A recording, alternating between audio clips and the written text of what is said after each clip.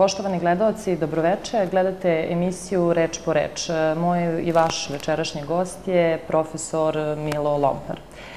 Profesore Lompar, kakvo je danas stanje demokratije u Srbiji i kako u najkrećem možemo definisati suštinu današnjeg uređenja srpske države i srpskog društva?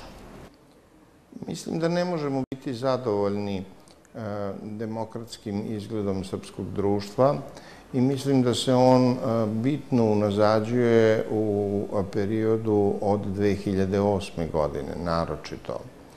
Zato što je tada našu politiku podvlastila e, jedna e, parola čiji je sadržaj izrazito zlokoban. Evropa nema alternativu, gde je sva zlokobnost koncentrisana na onome nema alternativu sama Evropa, pa i Evropska unija, zaslužuje jedan odmeren i određen pristup, zavisno od odnosa koje nam nameće ili koje moramo prihvatiti ili odbaciti. Ali kada vi kažete da nešto nema alternativu, vi ste u političkom rečniku u stvari uneli jedan model bez alternativnog mišljenja U ljudskom životu samo smrt nema alternativu. I kada jedna politička parola, kao što je Evropska unija, poprimi značenje bez alternativnosti, ona poprima u stvari značenja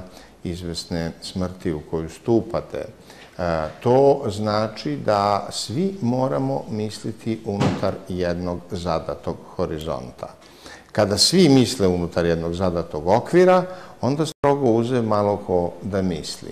No, u periodu od 2008. do 2012. godine je e, postepeno našom javnom svešću ovladavao taj e, monolitni oblik mišljenja da bi potpuno zavladao 2012. godine, kada je vladajuća stranka u stvari preuzela politiku protiv koje je dugi niz godina bila, i samim tim smo mi dobili politički spektar u kojem je samo jedna opoziciona stranka, tadašnja Demokratska stranka Srbije i nekoliko van parlamentarnih činilaca, među kojima su bile dveri, e, pokušavala da unese u srpsko društvo jednu vrstu demokratske diskusije ili razgovora. Od 2014. godine mi u e, Skupštini Srpskoj više nemamo parlamentarne nosioce alternativnog mišljenja, tako da mi sad svet u kome nema alternativne politike. Kada vi živite svet u kome nema alternativne politike, onda vi živite jednu izrazito nedemokratski uređenu e, društvenu situaciju. I to znači da je stanje demokratije kod nas programski poništeno, da je ono vraćeno u jedan prethodni period i da na neki način e, se mi nalazimo na e, nizbrdici kad je reč o demokratskim slobodama i posebno o medijskim slobodama. Da li je moguće da vi slušate ozbiljan razgovor na glavnim nosiocima komunikacije sa građanima, a to su televizije nacionalnih frekvencija, kažem, ozbiljan razgovor, bez upadica, bez provokacija, bez prostačkog podsmehivanja ili smejanja prema ljudima koji iznose mišljenje suprotno vladajućoj politici. To praktično nije moguće. To znači da smo se mi vratili u jednu situaciju u kojoj vi imate više partijski sistem, dakle postoji više stranaka, ali sve one zagovaraju jednu istu politiku.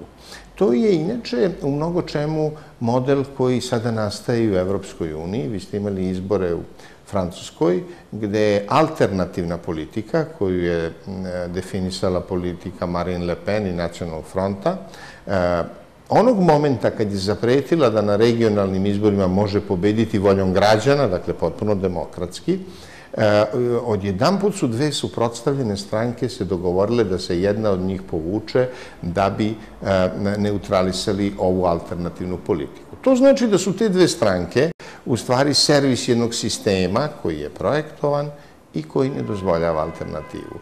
Utoliko se mi nalazimo u višepartijskom sistemu koji nije u suštini demokratski, a višepartijski sistem koji nema alternativnu politiku, koji nema konkurenciju političkih mišljenja, je u ponečemu i gori od jednopartijskog sistema. Jer vi u jednopartijskom sistemu tačno znate koje mišljenje je propisano, a sve što je mimo tog mišljenja, jednostavno rečeno, e, ne postoji. Ali postoji otpor. Ovaj sistem, koji na prvi pogled e, izgleda kao višepartijski, on jednim e, prepredenim načinom u stvari se trudi da neutrališe otpor ljudi prema vidnim oblicima neslobode u njihovim životima. I taj otpor se onda centrira na lokalne tačke, na bočna mesta, vidno nezadovoljstvo ljudi kao u nekom ekspres loncu e, pušta paru na mestima koja nisu opasna po samu strukturu sistema. Takav oblik sistema naziva se simulakrumom i to je velika opasnost ne samo za demokratski uređeno društvo, nego je to velika opasnost i za privredu, i za moral, i za opšte stanje društva, zato što se e, forsira jedna vrsta govora u kojem ćete vi govoriti suprotno od onoga što mislite i suprotno od onoga što je istina, u kojem će ljudi naučiti da neslobodno ponašanje donosi uspeh, a ni onoga neće doneti, jer je neuspeh u izvisnom smislu zadat ovom vrstom politike. Tako da je moja ocena negativna. Dakle, privid demokratije. Simulakrum ili privid demokratije. A kako je stanje i položaj institucija koje bi neminovno trebalo da budu prisutne u demokratiji pravoj bar? Institucije se nalaze u bitnoj vezi sa vlašću, zato što su finansirane sa tog izvora.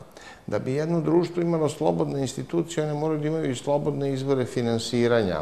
U nekom smislu, srpski seljak s početka 20. veka u Kraljevini Srbiji bio je slobodniji od današnjih tolikih stanovnika velikih gradova, jer je on e, upravljao jednim delom sredstava za svoju reprodukciju, hranom, stokom i tako dalje, a svi mi danas koji radimo, ukoliko ne dobijemo platu, smo potpuno bespomoćni pred e, onim što nam se nalazi pred očima.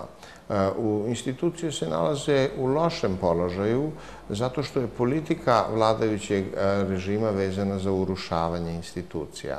Naime, neki od nacionalnih institucija prvog reda, kao što je Matica Srpska, osnovana 1826. godine, ili kao što je Srpska književna zadruga, osnovana 1892.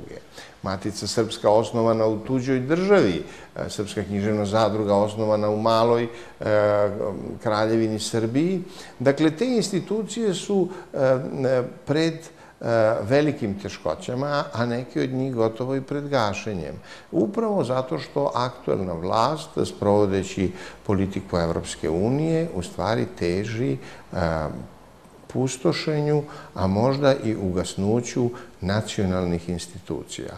Tako da politika Ministarstva kulture jeste politika u stvari Evropske unije koja kao da nam poručuje da mi, pošto kao narod u izvisnom smislu ne treba da postojimo, ne treba da imamo ni nacionalne institucije. Utoliko je važno što su iz parlamenta isključene i što ne postoje nacionalno orijentisane stranke koja bi postavljala ta pitanja, koja bi budila svest ljudi da su ta pitanja važna i za njihov život, za njihovu budućnost i koja bi na neki način vršila pritisak na javnost da se ta pitanja postave. E, mislim da bi to bio prvi korak u nekom koji vrsti oporavka nacionalnih institucija. E, u Srbiji su na snazi već 25 godina više stranački izbori. E sad, e, ovaj, vi ste, ako se ne varam, ispravite me, bili član Srpske liberalne stranke, yes. koja je svojevremeno bojkotovala više stranačke izbore iz razloga zato što, je, zato što ste, smra, ste smatrali e, da nema smisla izlaziti bez, odgo, bez prosto iste šanse za sve one opcije koje, koje se kandiduju. E, kakva je situacija sada, 25 godina kasnije? Ima li smisla izaći na izbore i da li su te šanse danas ovaj, danas jednake za sve. Srpska liberalna stranka je bila jedna mala stranka koja je nastala odvajanjem grupe istaknutih članova demokratske stranke, među kojima e, su na čelu bili Nikola Milošević i Kosta Čavoški e, i ona je postavljala sa nadšto velikom odrešitošću pitanje demokratičnosti e, režima koji je obično podvođen pod ime tadašnjeg prvog čoveka Srbije, Slobodana Miloševića.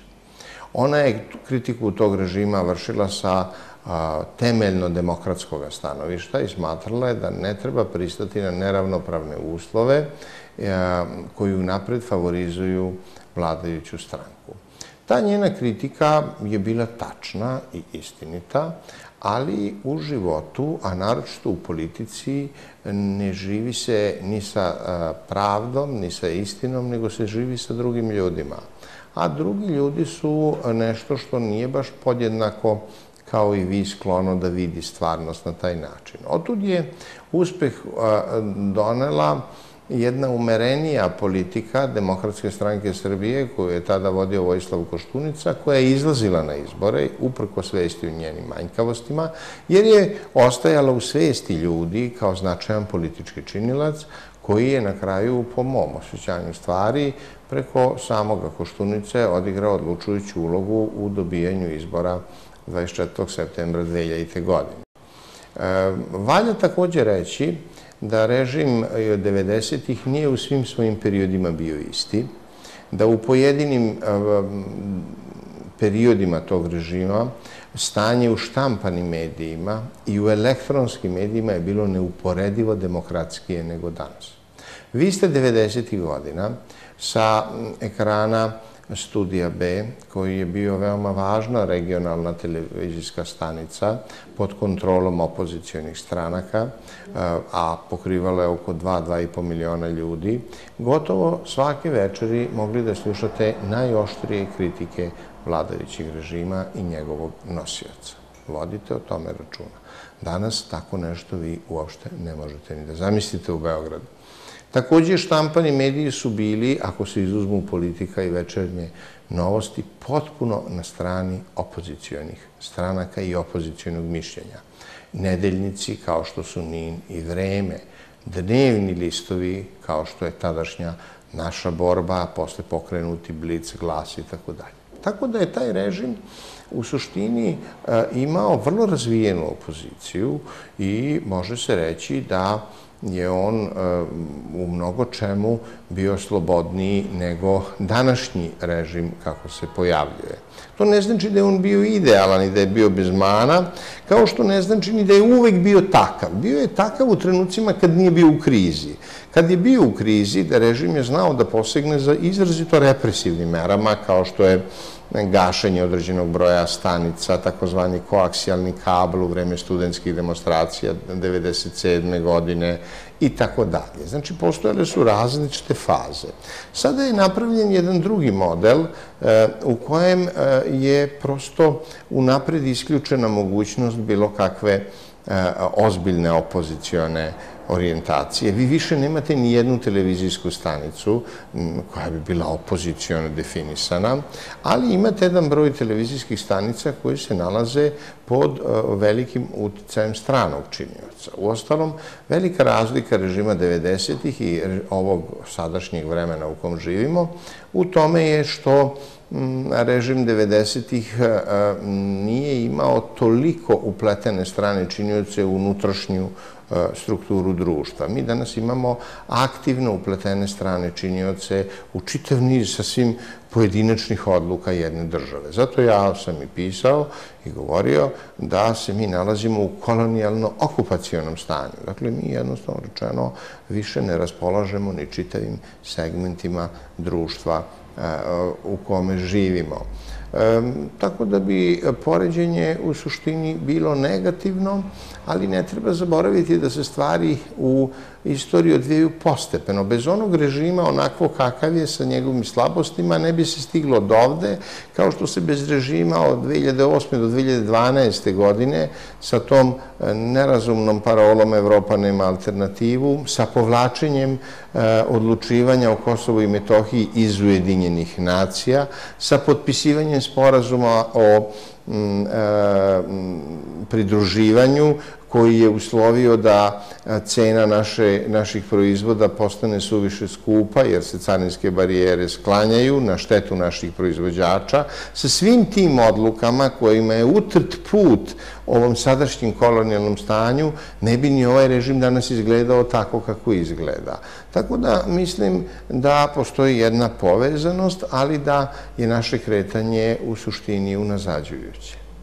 Pa eto, e, ako, ako su stvari toliko loše u, u medijima, e, da li onda stranke koje izlaze na izbore, a nemaju ovaj prostora da se, nemaju prostora u medijima, da li onda one na neki način daju legitimitet izborima i potencijalnom njihovom pobedniku? Moguće i tako gledati na stvari, ali postoji e, ono što je bitno za ovu stvar, a to je da strani činilac podržava sadašnji režim. A strani činilac, zapadne američke moći, nisu podržavale režim 90. godina. Oni su znali da ga podrže, recimo posle Dejtonskog sporazuma, ali ne na tako odsudan način kao što podržavaju režime posle 2008. godine. To je bitna razlika, jer vi ukoliko sada bojkotujete izbore, kad bi tako nešto bilo uopšte na dnevnom redu, vi ne možete računati na naklonost nijednog zapadnog američkog činjaca. To znači da ste vi potpuno bez poluge uticaja na vlast. I to je ključno vlast svoj odnos prema društvu meri svojim odnosom prema stranim činiocima. Ona će učiniti toliko ustupaka na teret društva koliko joj omogućava da kod stranog činioca stoji bolje. To je jedna schema koja je u suštini pogubna po društvo. Da li bi bojkot izbora bio put da se dođe do boljih uslova, ne znam. Ono što mi se čini izvestnim jeste da je za bojkot izbora i za jednu vrstu takvog delovanja neophodan mnogo veći e, intenzitet, mnogo veća jačina otpora kao vladajućeg raspoloženja. A meni se čini da vlast programski, rasejavanjem pažnje, medijskim strukturiranjem scene, u izvestnom smislu pornografijom medijskog prostora, ne u ovom erotskom smislu, nego pornografijom u, u jednom mentalnom smislu, dakle, e, e, jednostavno rasejava pažnju i da glavno raspoloženje u našem društvu je apatija ili jedna e, mešavina očajanja, neraspoloženja i gotovo na neki način e, e, potpunog odsustva interesovanja za sve mimo sebe, a to ne znam koliko su dobri činioci za neku vrstu bojkota. S druge strane, bojkot bi podrazumevao radikalne mere pasivnog otpora, demonstracije, proteste, studentske demonstracije i tako dalje. To je 90. godina obavljano uz vidno učešće stranog činioca. Paradoksalno je da ste vi imali u tim periodu neprestano studentske štrajkove i 1992. i 1996. i 1998. a da e, e, univerzitet nije radio mesecima, a da od 2000. godine, iako se studentski položaj bitno pogoršava i u ekonomskom smislu, niste, od 2008. naročito, nemate nikakvu organizovanu aktivnost studentske populacije. To znači da su odnosi sila nepovoljni za, po mom mišljenju, ove radikalne forme otpora. Između kojih to političkih opcija danas Srbija, evo, idu nam u susret izbori, e, suštinski bira? Pa ja vidim da postoje dve politike. Jedna je vladajuća politika e, koju predstavljaju svi skupštinski ili parlamentarni činioci i sve stranke, a druga je jedna alternativna politika, dakle politika ne bezuslovnog sleđenja Evropske unije, nego politika nacionalnog stanovišta ili pokušaj da se zasnuje nacionalno stanovište u politici, koju reprezentuje patriotski blok, ova koalicija dveri, odnosno da Demokratska stranka Srbije i Srpska radikalna stranka u onome što bismo mogli da definišemo kao njeno politički, politički program. E sada, e, mi vidimo da unutar vladajućih partija i stranaka postoje razlike, postoje i ozbiljna sukobljavanja, ali ja ih vidim prevashodno kao sukobe oko vlasti, a to ne more biti sukob oko politike. Nije svaki sukob oko vlasti sukob oko politike, nego se ljudi sukobljavaju što neko želi da bude na mestu onog drugog, što želi da koristi prednosti koje ovaj već ima i tako dalje. Mm, kad je reč o ovim dvema partijama e, vanparlamentarnim, između njih postoje izvesne razlike koje nisu zanemarljive. E, tako da mi se čini da je taj spektar e, prilično jednostavan za izbor. Svi oni građani koji smatraju da je ova politika ispravna, E, praktično im je sve jedno za koga glasaju, da li za vladajuću, da li za opozicijone stranke. To zavisi od naklonosti, dinamike koju će oni vidjeti, da li će ovu sadašnju dinamiku koja je takva kakva jeste ili možda neku drugu pod uslovom da je bude. Oni građani koji smatraju da treba staviti prst na čelo, da treba oprezno pogledati put prilika u svetu, da treba razmisliti o tome zašto se cela evropska konfiguracija država vraća nacionalnom stanovištu u politici, zašto je u Mađarskoj na vlasti jedna izrazito nacionalna stranka Viktora Orbana, zašto je alternativa za Nemačku jedna novo osnovana nacionalno orijentisana nemačka stranka dobila čak 24% na pokrajinskim izborima u Zaksen-Anhaltu, u toj pokrajini, onda 14% u Baden-Württembergu. Dakle, to su ogromne nemačke pokrajine, znate, neke od njih su veće od Srbije i to znatno, recimo Severna Rajna, Vestfalija ima 15 miliona ljudi, to su velike nemačke pokrajine. Zašto je u Francuskoj tako dobro prošla politika Marine Le Pen, na nacionalnog fronta, zašto u Austriji postoji jedna e, veoma snažna nacionalna politika, e, zašto u okruženju našem, u Hrvatskoj, da ne govorim, ili u Crnoj Gori, neprekidno su na vlasti nacionalne politike.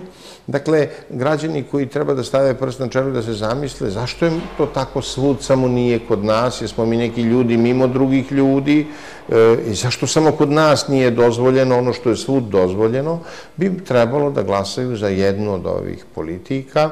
Ja lično bih, ću glasati za politiku patriotskog bloka, a u isto vreme e, bi trebalo da se na neki način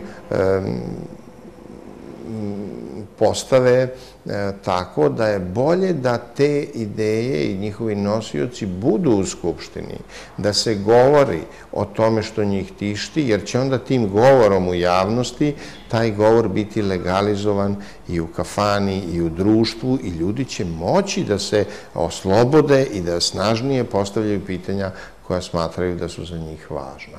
Tako da ja vidim u stvari izbor kao izbor između dosadašnje politike i jedne njoj suprotne politike.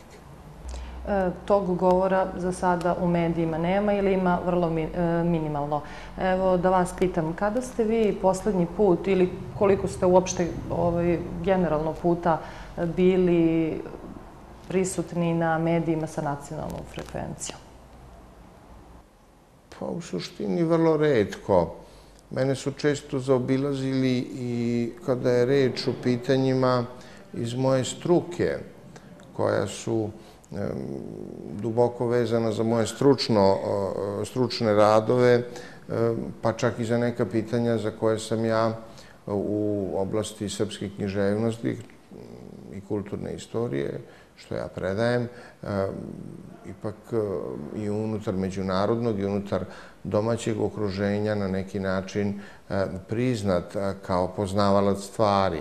To je taj neprijatni moment kada ljudi, zato što imate političku orijentaciju koja njima nije mila, to prenose na vašu stručnu orijentaciju i na kraju i na vašu ljudsku biografiju. To je dokaz da mi nismo u stanju da živimo pluralistički život i da kažemo da, ne slažem se sa ovim stavovima političkim ovog čoveka, ali ovo što on govori je stručna stvar i to je sasvim dobro i u redu. Ne. Zašto se to ne dozvoljava? Zato što je mogući obrnut proces. Moglo bi se desiti da neko sluša nešto što vi govorite stručno, da mu se to dopadne i da onda kaže pa čekaj da vidimo, nemoguće da čovek koji je ovako razložno ovde govorio o zanimljivim stvarima, baš toliko politički misli pogrešno. Možda tu ima neka istina koju on e, saopštava. Dakle, ne dozvoljava se prenos autoriteta, nego se na neki način to sklanja iz vidnog polja. I ceo vidno polje je tako napravljeno. Vama je nacrtan okvir i vi unutar tog okvira možete da pričati sve. Čim se primaknete granicama okvira, prve restrikcije koje dobijete su medijskog karaktera i jednostavno je rečeno da će svako dalje vaše kretanje ka okviru u stvari značiti vaše isključivanje iz javnog prostora. Tako da Mislim da sam malo razmerno učestvovao e, i da je to bilo u nekom smislu e, programskog tipa ili karaktera. I to je nešto što ne delim samo ja, nego i mnogi e, drugi intelektualci i profesori koji se zalažu za nacionalno stanovište u srpskoj politici se vratimo samo još malo na Evropsku uniju. Srbija tim putem korača već 15 godina. Šta je to Srbiji donelo? Šta smo na tom putu dobili i šta smo izgubili?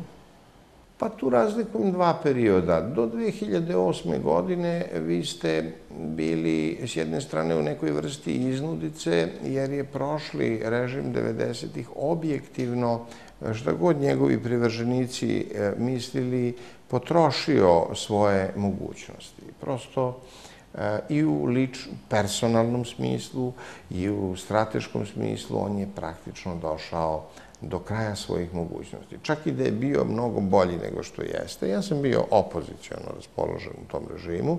Dakle, čak i da je bio mnogo bolji nego što jeste, premda nije bio, i to treba reći, onoliko loš koliko je opozicija govorila da jeste. Znači, toliko loš što danas, 2016. vidimo i pošteno je da kažemo, i poučno je da kažemo, da razmislimo o tom. Period između 2000 i 2008 mm, je period postepenog približavanja Evropskoj uniji koji je rezultovao približavanjem NATO-u. Dakle, prvo smo rashodovani vojni činilac. Mi smo prestali da budemo vojni činilac bilo kakvog reda na ovom prostoru. Dakle, uvedena je kontrola nad vojskom, potom je uvedena kontrola nad financijama, znači banke su zatvorene, potom je e, zemlja praktično ostavljena na milost i nemilost e, e, Haškom tribunalu, jednom improvizovanom međunarodnom pravnom institutu. Time je praktično obezbeđena sudska nadležnost nad političkim činiocima u samoj zemlji. S druge strane, nepravednost tako postavljene stvari je uslovila da raste nekritički otpor u samoj zemlji, dakle da se zemlja ne suočava i sa svojom realnom odgovornošću. Zrelost je da se vi suočite i s realnom odgovornošću, ali to ne možete u nenormalnim uslovima. Znači, još nisam e, e, mogao nikad da zamislim da, na primer, e, jedna progonjena e, osoba ili neki, neko ko je begunac može da razmišlja o svojoj realnoj odgovornosti dok spasava goli život. To može ako su uslovi relativno normalni. A zatim je uslovio jednu vrstu gubljenja medijske samostalnosti, znači došlo je do snažnog prodora medijskih interesa zemalja NATO-a i mislim da je taj period do 2004. godine e, bio buran i rezultovao između ostalog i ubistvom premijera. Mislim da je najbolji period bio između 2004. i 2007. godine. To je bila prva vlada Vojislava Koštunice koja je smirila e, tenzije u zemlji, koja je uspela da na neki način stabilizuje ekonomsku situaciju. Valja znati da je Koštuničina vlada mm, e, završila svoj e, mandat 2008. godine, drugi mandat, sa 8 milijardi duga, da je vlada iz 2012. godine je već imala 15 milijardi duga, da sadašnja vlada 2016. mislim ima 25 milijardi duga, da je vlada Koštuničina smanjila ukupno stepen zaduženosti, da je na posebnom računu, ako se ne varam, su ostavljene pare od Moptela, milijardu i 400 miliona evra.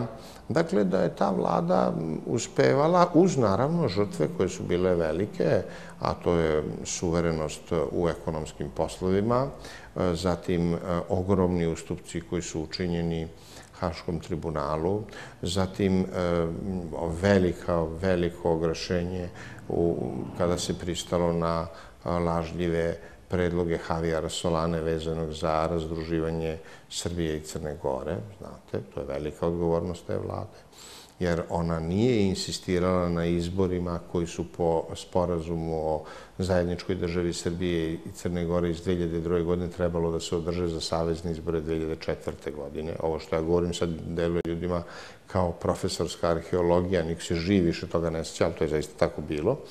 Dakle, ta vlada je učinila dosta ustupaka, držala je stabilnu situaciju u zemlji, ali u pitanju Kosova i Metohije nije bila voljna da popusti i to je bio uzrok njenog pada. Takođe treba reći da je ta vlada uspela u nečemu što je jedinstveno, a to je da postigne konsenzus parlamentarnih i opozicijonih e, i, i opozicijonih i pozicijonih činilaca, dakle, Demokratska stranka i Demokratska stranka Srbije e, i opozicijona tadašnja radikalna stranka postigli su saglasnost i doniti je Ustav 2006.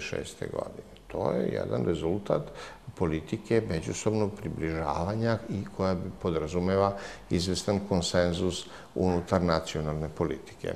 Mislim da je to bio najbolji period. Može se reći, ako se želi baš biti sasvim objektivan, što nema razloga da ne budemo, da je vlada imala možda i sreću što u tom trenutku nije bila kriza u Evropi. Znači, sve činioce treba staviti na sto kad god. Vlada posle 2008. je počela da sprovodi jednu politiku favorizovanja Evropske unije. Nijedna vlada takođe nije želela da aktivira odnose sa Rusijom na većem nivou nego što je praktično minimalni. Tako da do 2012. smo imali dominaciju jedne politike zaduživanja i jedne politike e, velike društvene korupcije, koje je bilo i u ranijim periodima, i 90-ih i tako dalje, da bi ova vlada ušla u zaista rizične poteze sa stanovišta istorijskog procenjivanja 2013. godine sa briselskim sporazumom. To je što je ipak bez presedana. Jeste utrt put tome 2010. kad je Kosovo izvučeno iz Ujedinjenih nacija i stavljeno u nadležnost Evropske unije, ali ovo je sad korak mnogo drastičniji i da bi napravila ove aranžmane sa NATO paktom koji sami po sebi pokazuju da se na ovim izborima između oslog bira i o tome da li će se zemlja prikloniti NATO paktu ili će ostati na stanovištu politike neutralnosti, vojne i političke, koje je proklamovala vlada Vojislava Koštunića. Dakle, moj odgovor je jasan, kretanje je bilo iznuđeno, smenjivale se različite vlade, ja mislim, kao što sam i rekao, da je umerena nacionalna politika dala u tim okolnostima u kojima smo mi osuđeni da živimo najbolje rezultate. Samo, na primer, upravo je to gest umerene nacionalne politike kada je Srbija za vlade Koštuničine kupila Telekom Republike Srpske. Dakle, to je jedna politika koja u datim okolnostima, koje nisu protivrečne, koje nisu idealne, koje nisu bez, bez mana, da ne ispadne da mi to sad nešto glorifikujemo, ali ipak najuravnoteženije koliko je u ovim uslovima moguće. Mislim da je sadašnja politika izgubila ravnotežu, a da je najgora politika bez ravnoteže. Mi imamo relativno često priliku da čujemo, čini mi se da je najčešće u pitanju Nemačka, e, da Srbija treba, i to nam premijer prenosi tu poruku, da Srbija, odnosno srpski narod, treba da promeni svest. Šta to tačno znači? Pa to je jedan stari princip. U njegovom korenu je neka vrsta promene čoveka. Komunisti su govorili da stvaraju novog čoveka, da stvaraju nove ljude. Kada mi danas čujemo da treba da promenimo svest, to znači u stvari da se ostvari stari komunistički ideal da nastanu neki novi ljudi koji neće prirodno nastajati kao što ljudi nastaju nasljeđivanjem uverenja, postepenim menjanjem, nego naglo će odjednom postati drugi ljudi. To nije naravno moguće, nije bilo ni u komunizmu moguće. Međutim, taj zahtev je u suštini represivan, kao što i komunizam bio represivan. Dakle, u stvari od ljudi se traži da lažu. Neko ne traži da promenite svest, možete da mislite šta god hoćete, ali morate javno lagati. Dakle, od ljudi se traži da javno, uporno i dosledno lažu. Na ulici, u društvu, u preduzeću, e, jednostavno da lažu. I to je u stvari zahtev za promjenu svesti, mm, e, praćen potpunim neodmeranostima kakve su, na primjer, protestantska etika, i takve stvari. Zamislite vi sad premijer Španije da izađe i da kaže vi Španci treba da budete protestanti. To prosto to je uvredljivo. To je prosto uvredljivo. Ili da ne znam, predsjednik Italije kaže vi treba da budete protestanti. A zemlja je katolička. Mislim, to nije učtivo, to nije pristojno, to normalno da ja uđem u vašu kuću i da vam kažem vi treba da budete nešto drugo. Zašto bismo mi bili protestanti? To je potpuno nepotrebno. Mm, s druge strane, takođe se sa najviših adresa govori vrlo rđavo o srpskom narodu. Srbi su lenji, Srbi su ovakvi, Srbi su onakvi.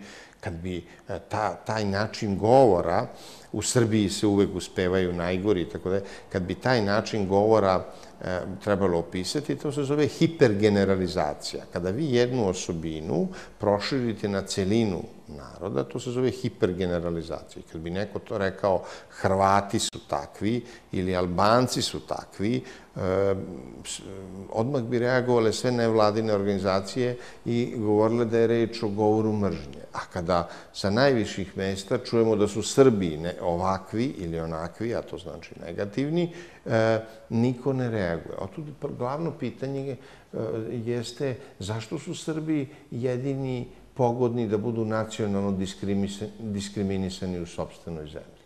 To pitanje kao deluje kao neka misterija.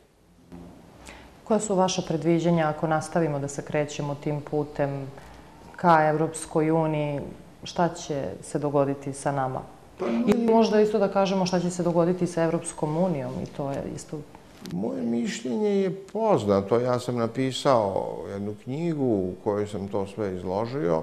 Meni se čini da ćemo mi na ovaj ili onaj način biti prisiljavani, koliko je to moguće, jer okolnosti su različite, da se vratimo u titoističku konfiguraciju. To znači da se prizna nezavisnost Kosova i Metohije, to znači da se neutrališe položaj Republike Srpske i podvede pod državnost Bosne i Hercegovine.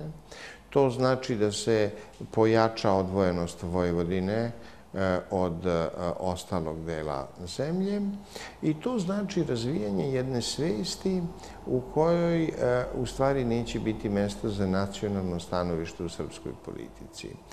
U nekom smislu obnavlja se jugoslovenska konfiguracija, ali to ne znači da se obnavlja jugoslovenska država, nisam ja to mislio, nego jednostavno da se polako unutar naše zemlje konstituiše neka vrsta jugoslovenske nacionalne svesti koja na neki način e, obeležava mm, unutrašnji sadržaj naše zemlje. Tako da ja mislim da ćemo mi, ako taj proces potraje dovoljno dugo, na kraju svi da osvanemo u nekoj Jugoslaviji, oko koje će biti Hrvatska, Bosna i Hercegovina, Crna Gora i tako dalje. Mislim da se sve radi na neutralisanju srpskog stanovišta u našoj politici.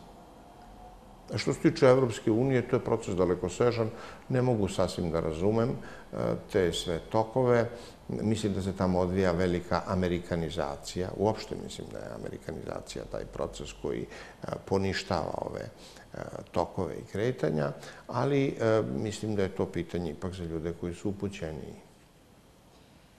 Duh samoporicanja je vaša vaše poznato delo. E, možemo li za početak da pojasnimo šta je to duh samoporicanja? Pa to je e, kada vi e, sprovodite politiku tuđu koja vam je nametnuta na način da sami sebe poričete, ne zato što to morate, nego sebe ubeđujete da je to ispravno. Znate, vi kad ste okupirani, a mali narodi su često okupirani, mi smo bili često okupirani, Osmanski imperiju, Habzuške monarhije, oni znaju da su okupirani i oni znaju da se moraju ponašati pod dejstvom sile. Uvijek je to tako u istoriji, veća sila i manja sila, ali oni znaju takođe da je otpor toj sili e, potreban. Međutim, kada vi sebe ubedite da to što vam se događa jeste nešto što treba da vam se događa, a ne neko nasilje koje vi trpite, vi onda sebe u sobstvenoj glavi sami od sebe okupirate i vi onda stupate u ono što se zove samoporicanje. Dakle, vi tvrdite da to što vam se dešava je dobro, iako znate da nije dobro, da je to što se događa deo, rezultat e, neke politike koja je prema vama neprijateljska, a vi tvrdite da je ta politika prijateljska. Jer tu se ne razlikuju dve stvari. Vi morate možda neke stvari sprovoditi, ali ih ne morate doživljavati kao ispravne zato što ih morate sprovoditi. Sprovodite ih zato što ste mali, što ne možda pružite određen otpor, ali vi u glavi kao klicu otpora i kao klicu toga da se stanje promeni, jer nijedno stanje nije za uvek. Prema tome, e, treba da se na neki način uvek razvija klica kritičkog mišljenja i otpora. Duh samoporicanja jeste, po mojom mišljenju, jedan istorijski ritam u 20. veku u kojem se formirao pojam srpske krivice, kao centralni pojam kojim se regulišu politički odnosi i neutrališe, dakle, uklanja srpsko nacionalno stanovište u našoj politici.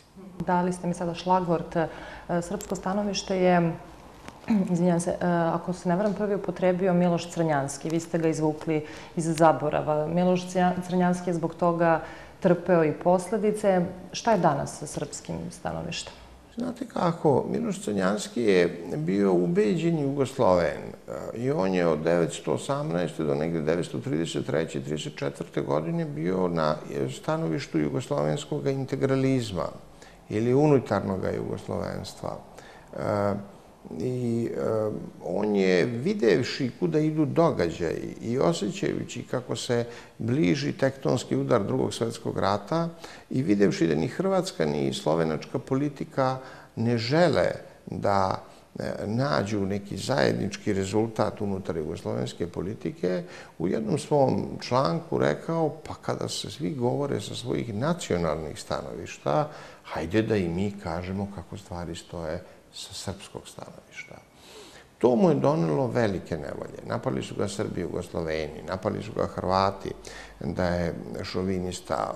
Komunisti su ga već po pravilu napadali da je fašista i u svakom pogledu su ga izložili poruzi. Ali nije on bio prvi koji je tako prošao. Naš ugledni e, filolog i naučnik Ljubomir Stojanović, stari profesor još i političar iz predratne dakle male kraljevine Srbije, vodio je jednu manje poznatu, ali žestoku polemiku e, sa časopisom Nova Evropa, koji izlazi u Zagrebu i koji je zastupao ideje poznatog britanskog političara Siton Watsona, jugoslovenske ideje, gde je on govorio o srpskoj ideji. Nekada se u 19. veku tako govorilo. Tako da i pre Crnjanskog, pre 34.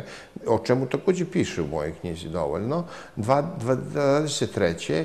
Ljubomir Stojanović je isto to pretrpeo što i Crnjanski 11 godina posle toga. Oni su njemu priznali i lično poštenje, i veliku stručnost, i priznali su mu potpunu čestitost da bi rekli da je on što se njih tiče mrtav. Znači, vi jednom čovjeku, ono što se danas već nikome ne priznaje, kad vam se neko politički ne sviđa, vi mu ne priznajete ni stručnost, ni poštenje, ni čestitost. Ali, ovde, kad je reč o tome, je stvar išla tako da mu je rečeno i jesi čestit, i jesi pošten, i jesi stručan, ali si mrtav. Zašto? Zato što je on rekao da treba, da srpska ideja nije mrtva a njegovi oponenti u ime Jugoslovenstva su rekli jesu Slovenci na slovenačkom nacionalnom stanovištu, jesu Hrvati na hrvatskom nacionalnom stanovištu, ali Srbi ne smiju biti na srpskom nacionalnom stanovištu. To je ključno. Dakle, e, srpsko stanovište nije dozvoljena misao unutar srpskog političkog kretanja čitav jedan vek.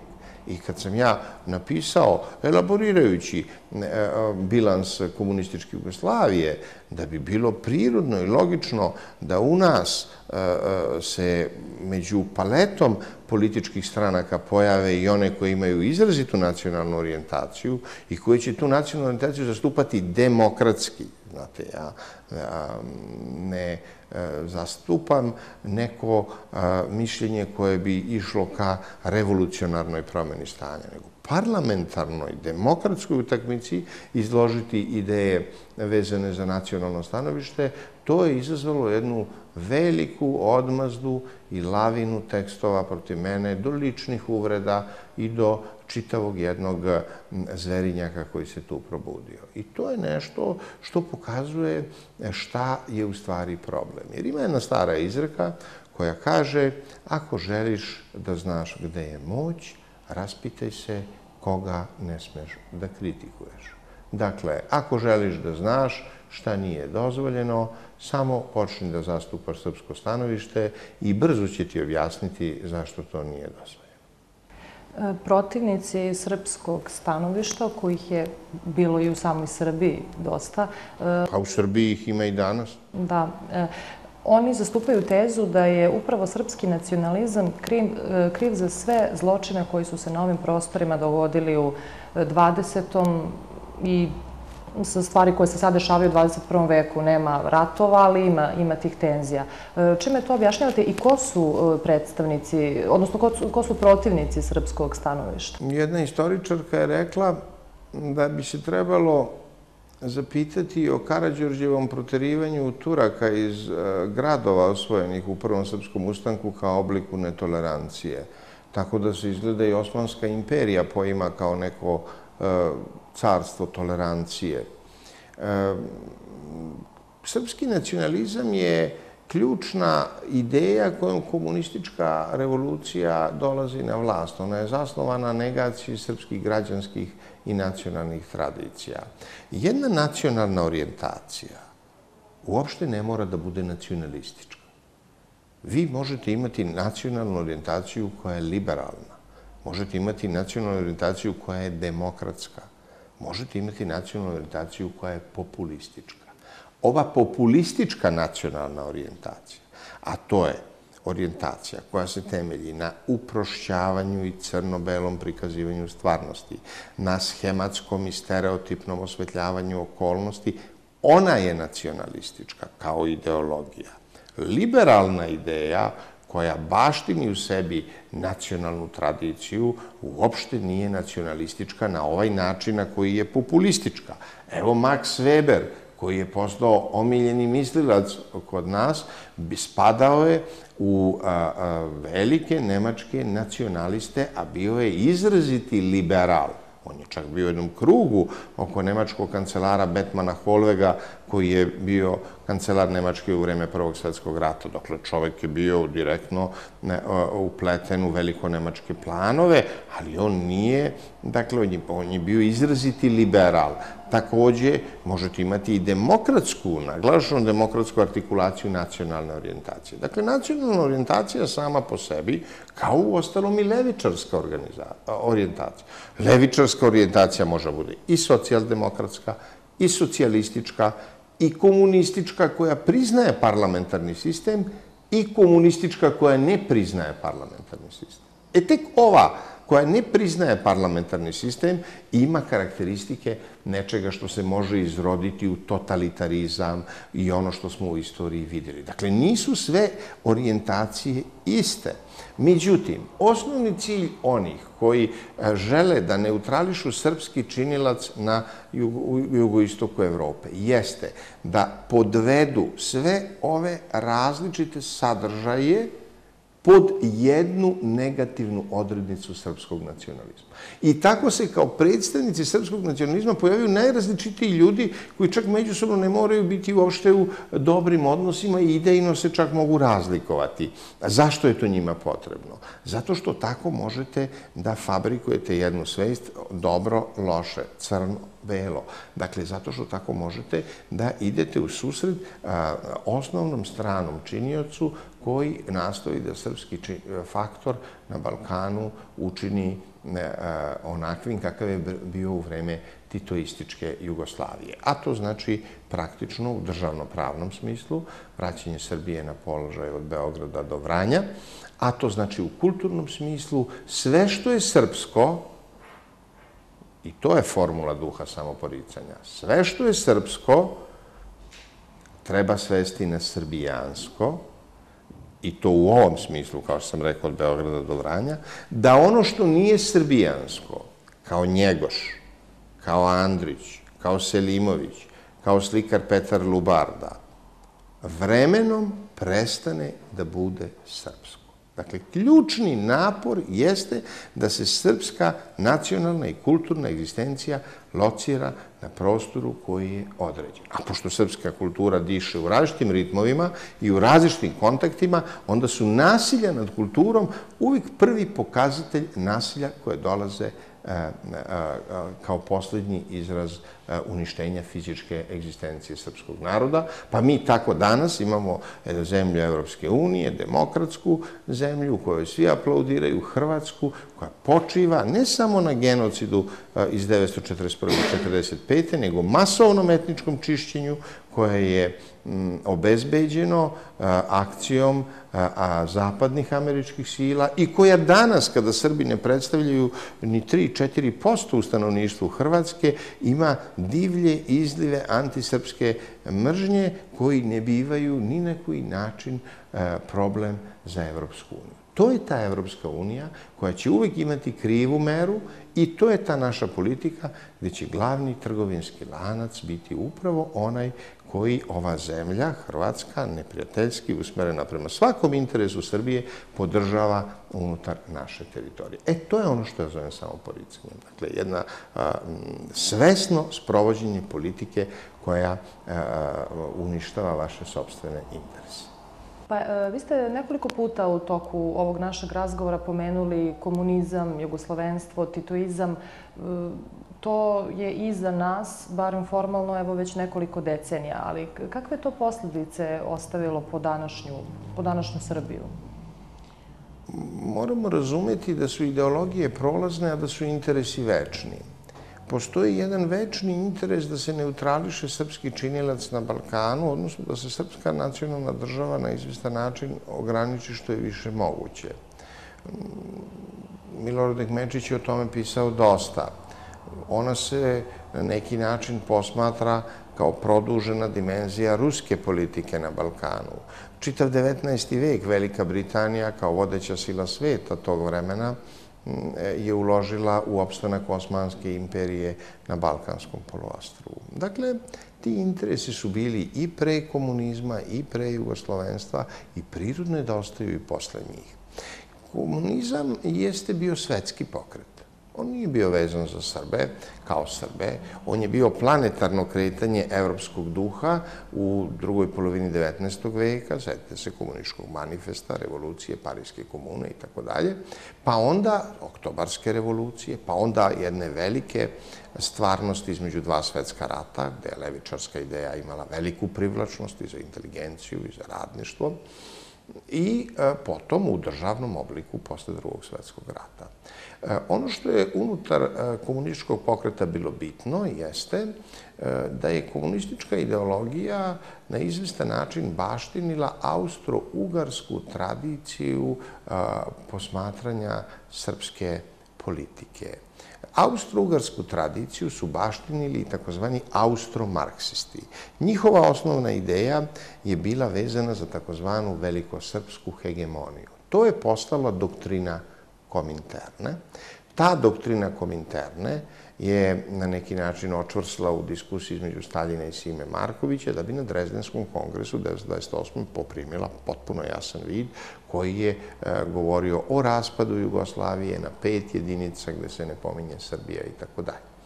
To je išlo u susreti činci da je Kraljevina Jugoslavija i kralj Aleksandar su vodili jednu politiku e, izrazite udaljenosti od Sovjetskog saveza. Jugoslavia je bila posljednja evropska država koja je priznala Sovjetski savez i čak su prihvatili veliki broj belih Rusa, što je e, bilo na neki način razlog za e, neprijateljsku politiku Sovjetskog saveza u visokom stepenu.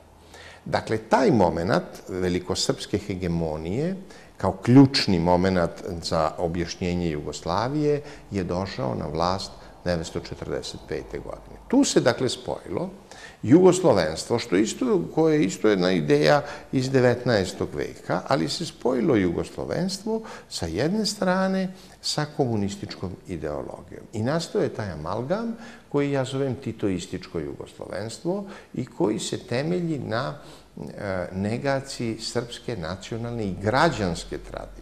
Pazite, i građanske tradicije, jer Srbija imala građansku tradiciju, političare koji su bili građanski ljudi, obrazovani u Beču, u Parizu, u Peterburgu, u Berlinu, ljude koji su zastupali nacionalne ideje u skladu sa evropskim kretanjima, ali nacionalne ideje onako kako bi ih zastupao jedan mađarski, jedan nemački političar, dakle u potpuno normalnom ambijentu, to je sve negirano i podvedeno, kao što sam malo pre objasnio, pod velikosrpski nacionalizam. I onda, kada vi to sve podvedete pod velikosrpski nacionalizam, onda e, počinje taj proces, dakle, samoporicanja, jer je e, on, s jedne strane, vezan jednom identifikacijom srpskih nacionalnih interesa sa jugoslovenskim, koju je otpočelo još u vreme između dva svetska rata, da bi komunistička e, ideologija tome dala ubrzanje. Dok je jugoslovenstvo između dva svetska rata bilo prevashodno osmišljeno kao u nadograđivanje srpske ideje jugoslovenskom idejom. Dakle, ugrađujemo srpsku ideju u jugoslovensku ideju. I te dve ideje se identifikuju. Dotle je jugoslovenstvo titoističko, po mom sudu, bilo zahvalno na negaciji srpske ideje. To nije isto, jer ovde, u ovoj prvoj varijanti, srpska ideja postoji u jednom proširenom obliku jugoslovenske ideje zajedno sa hrvatskom i slovenačkom idejom. U drugom obliku, srpska ideja biva negirana u svom nacionalnom i građanskom vidu. Čitavi slojevi srpske tradicije su izbrisani. Istorijska uloga Srpske pravoslavne crkve negirana. Sveti Sava isteran iz škola. Molim vas, e, Sveti Sava je jedna od centralnih tačaka srpskog e, kulturnog obrazca. U onog momenta kada nastaje e, posle prvog srpskog ustanka e, srpska nacionalna država, pa onda ona nastaje kao građanska država, pa nastaje kao evropska država. Mladi intelektualci koji je oblikuju 70. godina 19. veka oblikuju je kao svetovnu, sekularnu državu, bez ikakvog klerikalizma, Ali šta oni čine? Oni Svetog Savu pa, pretvaraju u školsku slavu. Dakle, prilagođavaju ga svetovnom obliku egzistencije. Naglašavaju ne samo njegov religijski, nego i njegov prosvetiteljski i obrazovni karakter. To je način na koji sekularna država prenosi jednu tradiciju i usklađuje sa drugim okolnostima vremena. 46. 7. godine još bilo proslave Svetog Zave i onda ju je nestalo. Dakle, to je negacija. To je ključno. Negacija. Jer je Svetosavlje proglašeno za oblik velikosrpskog nacionalizma. I sad pazite što je sve velikosrpski nacionalizam ako je Svetosavlje velikosrpski nacionalizam. Pa onda znači da ste vi praktično pod sumnjom sve vreme. E vidite, dejstvo e, tih ideologija je u stvari pokrilo ove interese da se neutrališe srpski činilac. I kada su ideologije otpale, ostali su interesi. I zato sada te ideologije deluju kao floskule, a u stvari one su bile košuljice u kojima su sakriveni određeni interesi. I zato je, recimo, moja, moj predlog da se naša politika u nekom obliku, u nekim predstavnicima, ne u svim, nego u nekim, vrati ideji nacionalnog stanovišta u srpskoj politici, dočekana sa toliko velikim negodovanjem, jer, prosto rečeno, interesi su bili upravljeni ka tome da se to ne desi. Gospodine Lompar, hvala što ste bili gost K televizije. Poštovani gledalci, gledali ste emisiju Reč po reč. Hvala na pažnji i prijetno.